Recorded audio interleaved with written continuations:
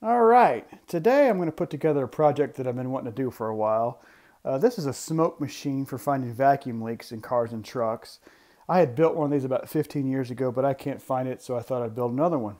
The basic premise behind this is a nichromium wire that's wrapped around a lantern wick that's sitting in a bath of baby oil. You energize that wire with a 6 volt lantern battery or a 12 volt car battery, and what it does is generate smoke.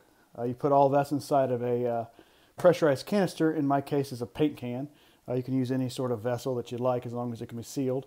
Uh, you pump in low pressure, low volume compressed air, and out comes your smoke and helps you find your leaks.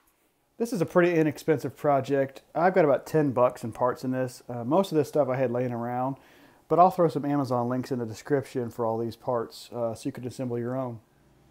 All right, our first step is going to be putting a couple holes in the side so that we can fish our uh, banana plugs and wire through. Uh, I'm going to put these holes about three inches up, 180 degrees out, roughly. It doesn't have to be perfect. Get those marked.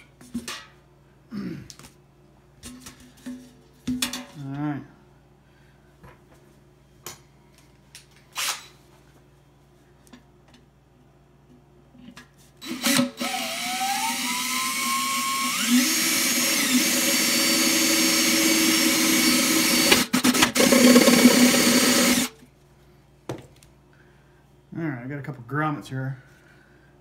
Probably should measure those. A little bit bigger.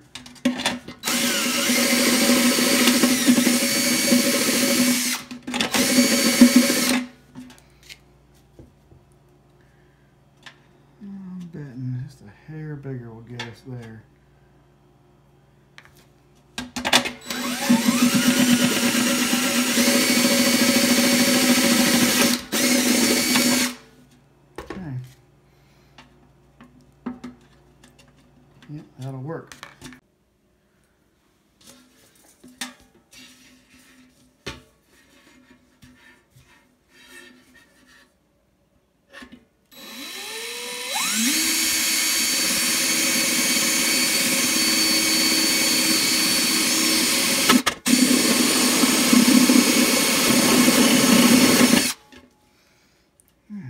To go a little bit more.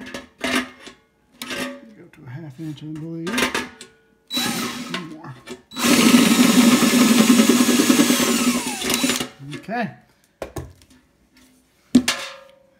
On to the next step. All right, in the top, I've got to have two holes. Uh, I've got one for an air inlet and an exit. So I got some, some grommets that I'm going to drill in there as well. So it doesn't really matter. I'd say probably put one there and one there.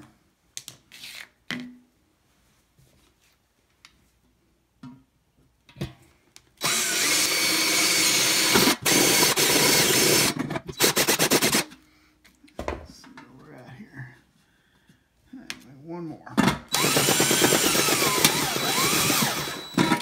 Go. I actually got to go one more.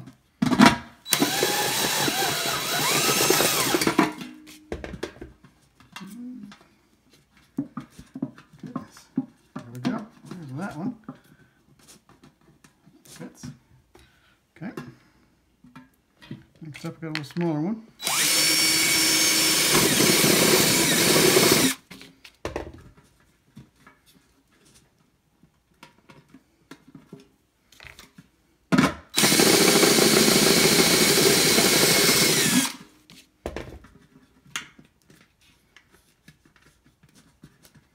All right, that'll work.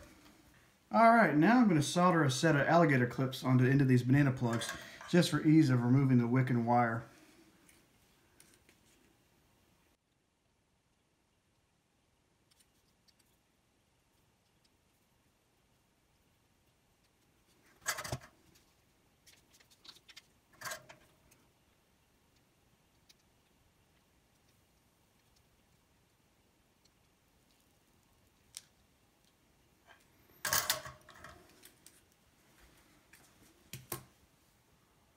Okay, now I'm going to thread in the uh, banana plugs here and the inlet and outlet for the uh, compressed air. So I put these grommets on here. These, these are just the standard grommets that you can buy from Harbor Freight, nothing special. Uh, they're pretty cheap. But they're working, they work for what we're doing here.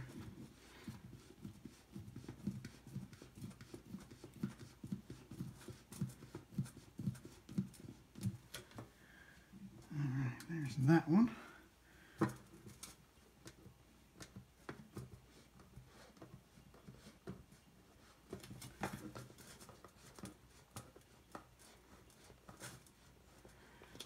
Okay, so that one's done. Next up is feeding banana plugs in. Let's go to the side here with the same kind of grommets. Got a washer and a nut.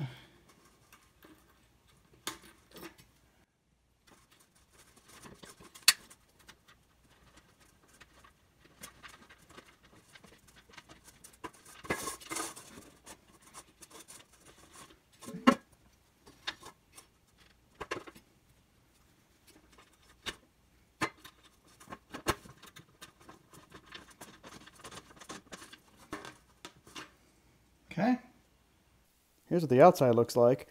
And on the inside, you can see why those alligator clips are so handy. It makes it real easy to remove that wire. Alright, here's the nichromium wire wrapped around the lantern wick. Uh, what I did was I spaced it about, oh, 3 eighths to a half apart, just the windings there.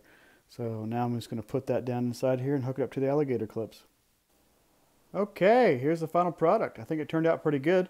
Got your positive and negative uh, power feeds. Got your inlet and outlet air. Down inside, you got your wire wrapped around your wick, sitting in the baby oil. Uh, all that's left is to test this thing out and make sure it works. So as it turns out, my 6 volt lantern battery was dead, so I brought it out to the garage to see how it does out here. Let's check it out.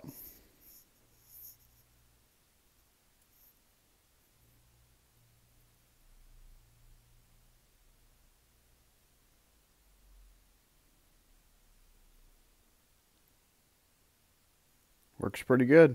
Let's put the lid on and try it that way. All right, and here's the final product working. I've got my regulator down as low as it will go on my compressor. It's pr producing quite a bit of smoke here. So what you do is you plug this into your vacuum port and just look for the smoke, see what's coming out of your motor, and there's your leak. That's it. Hope you all enjoyed.